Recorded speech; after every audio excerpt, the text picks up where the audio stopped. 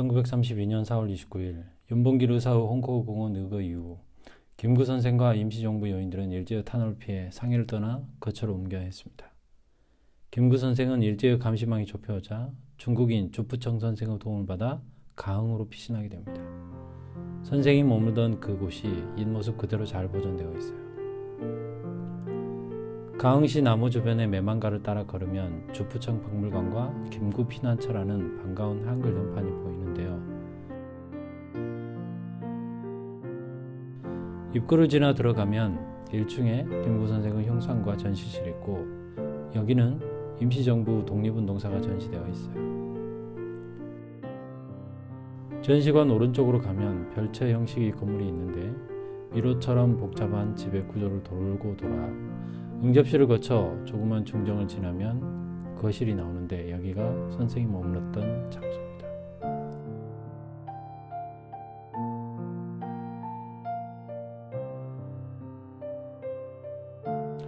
1층 거실은 호수 상황을 잘 살필 수 있도록 커다란 창문이 나 있고 바로 배를 타고 호수로 나갈 수 있도록 되어 있습니다.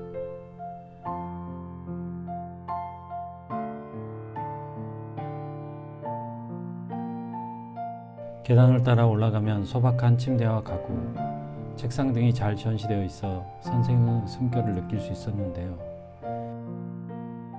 일제를 피해 여기에 머물렀기 때문에 선생의 방에는 밖을 감시할 수 있는 비밀의 창이 사방으로 뚫려 있고 이상 징후가 있을 때 신속한 도피를 위해 바닥에 비상 탈출구가 있습니다. 이 탈출구는 호수와 직접 연결되어 있어 배를 타고 바로 호수로 피신이 가능합니다. 호수에 사는 어부들과 섞여 일제와 밀정의 감시망을 피할 수 있었던 것입니다. 주로 낮에는 배를 타고 호수에 머물고 어두워지면 집으로 돌아와 머물렀다고 합니다.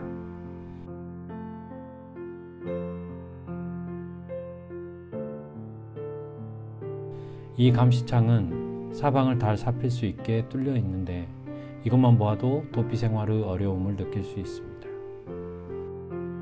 영화 암살에서 배우 조승우가 나 밀양 사람 김원봉이요라는 말을 하면서 김구 선생을 만나는 장면이 있는데 그 배경이 바로 이곳 가흥입니다.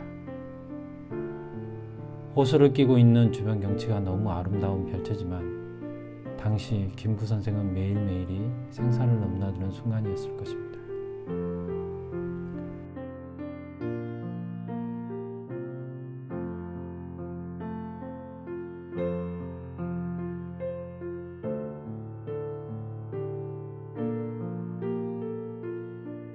김구 선생의 피난처에서 멀지 않은 곳에 선생의 가족들과 임정 요인들이 머물렀던 숙소가 있었는데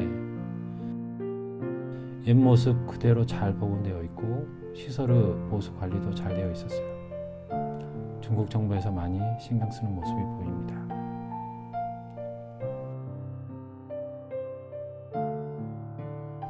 (1층은) 전시관으로 여기에 머물렀던 임종 요인들의 사진과 활동 사항들이 전시되어 있습니다. 특히 전시실 중앙에는 김구 선생을 비롯한 임종 요인들과 가족 그리고 피난 생활에서 가장 큰 도움을 준 조프천 선생의 가족들과 1932년에 찍은 사진이 눈을 끕니다.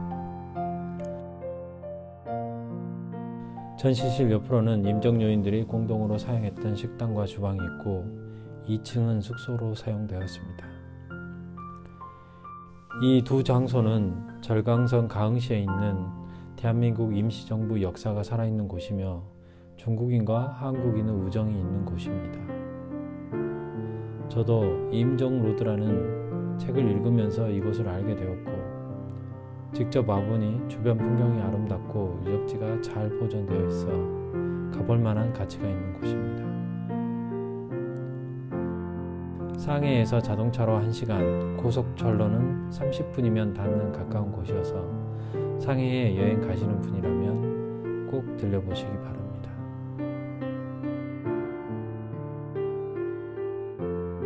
우리가 찾지 않으면 잊혀지고 잊혀지면 항일의 역사가 사라지는 것입니다.